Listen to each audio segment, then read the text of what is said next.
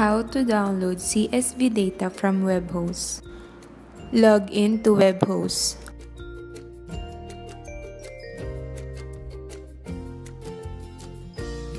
Open Survey. You can see that the default is Summary tab.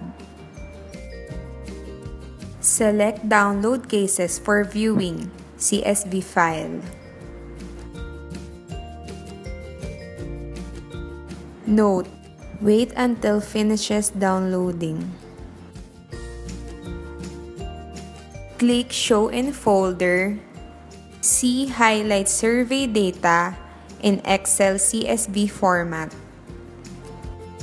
Copy and paste it to your project folder.